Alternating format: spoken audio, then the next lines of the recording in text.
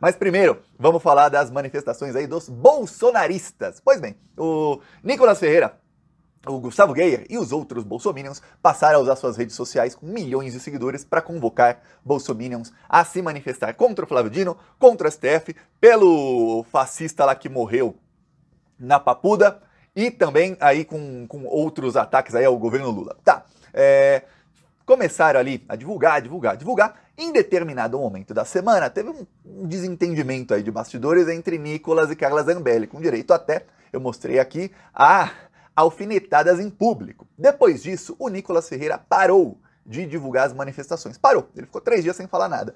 Coincidentemente, eu realmente acredito que seja coincidência, eu publiquei um vídeo aqui dizendo: ó, oh, o Nicolas está desconvocando, não fala mais o assunto.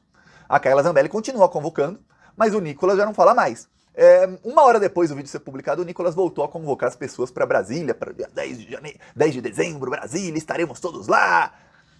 Pois bem, vamos ver todos que estavam em Brasília. Olha, eu peguei inclusive aí vídeos da transmissão ao vivo deles, dos bolsominions, para não ter como falar, Thiago, você só tá pegando foto de que, que tá flopado, eles devem ter o, as fotos dele, deles mesmos mostrando que não. Olha, não, isso aqui é a foto dos próprios bolsominions, ó, o Bruno Alencar colocou lá no Instagram. E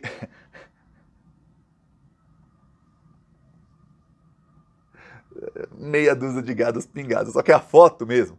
Você fala, ó, oh, essa é a foto do dia de Brasília, eu vou te mostrar aqui. E aí você vai ver. Essa é a primeira foto. Isso foi quando começou o evento, tá? Imagina a cara de bunda do Nicolas Ferreira quando viu essa foto e falou: caramba, a gente reservou todo esse espaço. Que já é pouco, viu? Se enchesse tudo isso aqui, ainda é pouca gente. E quando começou só tinha isso. Aqui, ó, meia dúzia de gados pingados. Eu acho que tinha mais gente. Lembra que mais da metade disso aí são policiais, tá? São policiais. Aí, outra foto aqui mostrou a hora que começaram os, os discursos principais, para você ver. Esse é o momento ali da foto que eu mostrei de outro ângulo, né, de, de cima do caminhão. E aqui debaixo do caminhão é isso aqui, ó. Esses são os bolsominions é, convocados aí, ó. Nicolas Ferreira 10 milhões de seguidores, Gustavo Guerreiro 2 milhões, Carla Zambelli 6 milhões, é, aí todo, só no Instagram, fora o Facebook, fora o Twitter, fora o TikTok, enfim, estava aí usando suas assessorias de comunicação para colocar muitas publicações convocando. O Nicolas realmente parou de convocar uns dias, mas já tinha feito convocação antes, depois voltou a fazer. E foi este fracasso fracasso. Ah, olha, me lembrou daquelas manifestações lá do Gado 300, da Sara Giromini, que tinha gente da esquerda na época que ficava com medo. Eu falava, calma, gente, serão todos presos. E foram. É, a gente ficava com medo, eu falava, gente, eles dizem que são 300, mas nas fotos deles. Uma vez eu vim aqui, 2 mil, viu? Eu lembro que tinha gente desesperada achando que eles iam dar golpe. É, é 2020, 2020. É, eu mostrei uma foto e falei: olha, vamos ver se tem 300 aqui. Eu contei, tinham 26 pessoas. na foto do grupo lá da Sarah Winter. É, aqui parece estar tá no mesmo nível. Eles vão falar que tem 10 mil, aqui não tem nem 300 gados pingados. Só que não foi vexame só em Brasília. Fala, Tiago, mas tem cidades maiores aí em que a coisa foi boa. Rio de Janeiro. Aqui o um vídeo mostrando de um lado, é isso aqui, o número de pessoas. Lembra que a Avenida Atlântica, que é a avenida aqui principal da Avenida da Praia em Copacabana, ela fica aos domingos fechada para carros e aberta ao público. Então, tem muita gente passando, tem gente de todas as áreas da cidade do Rio de Janeiro que vão a Copacabana, seja de carro, de ônibus, enfim, de transporte público ou não, é, para Copacabana para caminhar, é, para ir para praia, para ir lá tomar uma água de coco, uma, uma gelada, uma cerveja, uma coisa assim. Enfim, é um lugar que fica muito cheio, fora os turistas, tudo mais. É, então, obviamente o fluxo de pessoas é grande. Aí quando você vê só isso aqui, realmente, é porque a coisa está muito feia. Porque, olha, pro outro lado tem isso aqui de pessoas, tá? Então, de um lado tem isso e do outro lado tem isso. Esse aqui é o, é o número do bolsonarismo aí no Rio de Janeiro. Lembrando que como tem muita gente circulando lá, todo mundo que quiser passar daqui para aqui, tem que passar no meio da manifestação ou caminhar na areia. Se tá de tênis, tem que enfiar o tênis na areia, entrar areia no seu tênis ou passar no meio da manifestação Bolsominion. E aí parece que tem mais gente lá. Então eles fazem de propósito aí é, manifestação em lugar que já tá sempre cheio. E aí imagina que como tem muito Bolsominion em Copacabana, gente que nem iria na manifestação, tá passando lá, ah, vou parar cinco minutinhos, dez minutos para assistir. Ficam lá, reunidos. Aí fica mais fácil de conseguir algumas centenas de pessoas. Mesmo assim, você vê que flopou e flopou feio. Mas olha, é, foi bem pior do que as manifestações de duas, três semanas atrás. Bem pior, a coisa tá feia para os bolsonaristas. Aí na Avenida Paulista, no momento em que começou, tava assim. Eu vou tirar aqui que estavam tocando música aqui, que eu não sei se tem direitos autorais. Tava assim, Avenida Paulista, São Paulo. Você fala, peraí, Tiago. Maior cidade do Brasil, aí são, contando as, a, a zona grande de São Paulo ali, é, a grande São Paulo, tem são 21, 22 milhões de pessoas e vocês só conseguiram isso aqui na Avenida Paulista. Pois bem, olha, eles é, é, depois já já eu mostro o vídeo de baixo lá, as pessoas embaixo. Então a coisa tá feia. Tá feia. Ó, tentaram de novo. O Bolsonaro sair do Brasil, né? Foi lá para a posse do Milley. E aí os bolsominions tentam golpe dentro do Brasil. Só que não deu. Se aí é o pessoal que não quer o Flávio Dino no STF, deu ruim. Eu acho até que se tinha algum senador indeciso, depois de ver isso, eles já se decidiram. É Dino sim.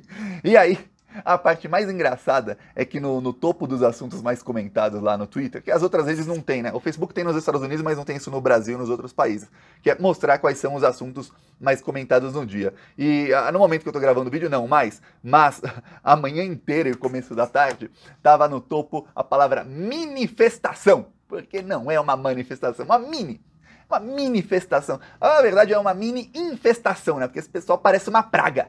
Olha, eles perdem a eleição, aí eles tentam dar golpe de Estado e olha, ficaram aí 70 dias incomodando é, ali, passando vergonha na frente dos quartéis, rezando para pneu, mandando mensagem para alienígenas, olha, é, agarrados em caminhão, enfim, 70 dias passando vergonha. Aí tentaram dar golpe de Estado, fracassaram. E aí pararam um pouquinho, só que agora voltaram. Inclusive, parte do que os discursos estavam falando ali, discursos criminosos, eles estão cada vez mais criminosos. É uma hashtag que uma hashtag. É o texto de uma hashtag que o Eduardo Bolsonaro começou a lançar ontem e hoje, que é, é Não Temos Mais Medo.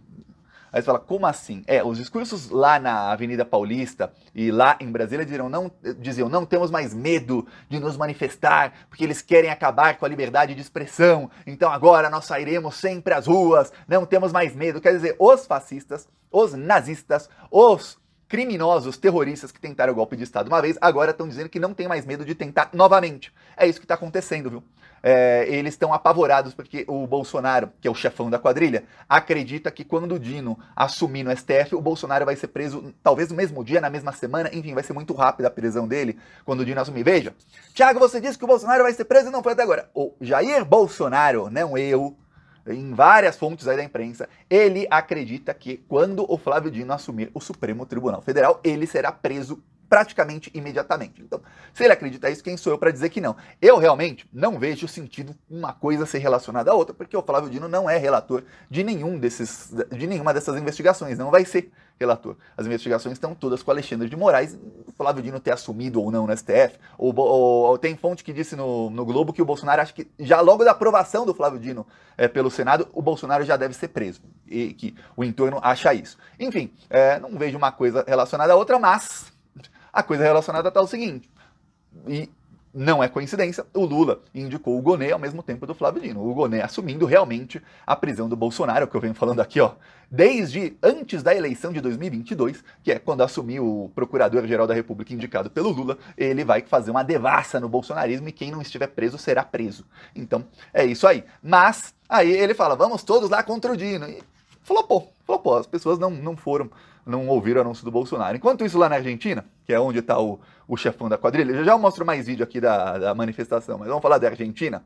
É, a coisa ficou feia lá para o Milley, viu? O, o Milley teve lá, obviamente os fascistas da Argentina vão, foram lá na posse dele, a posse de um presidente sempre tem muita gente, tudo mais. É, não foi uma oh, enorme cerimônia, não foi. É, e o Milley recebeu a visita do Bolsonaro, Bolsonaro foi lá, deu entrevista com ele, com o Milley, para uma rádio, é, ficou lá puxando o saco. Olha que coisa vergonhosa você ver um ex-presidente do Brasil puxando o saco de um, de um cara como o Milley, que é presidente da Argentina. É, é olha, ele batia a continência para os Estados Unidos e agora está lá puxando o saco, não é da Argentina, é do, do Milley, para ver se consegue alguns carguinhos lá dos bolsonaristas do Brasil na Argentina. Só que o verdadeiro presidente da Argentina é o Macri, tá? O ex-presidente que colocou a Argentina na desgraça que está hoje, ele é quem manda no Milei, ele é quem indica os ministros, ele é quem toma as decisões do governo. Macri. Então, o Milei é ali o, o imbecil que aparece e o Macri está por trás ali, um jogo de fantoches. Tá, e aí o Milei é, teve apenas oito chefes de Estado na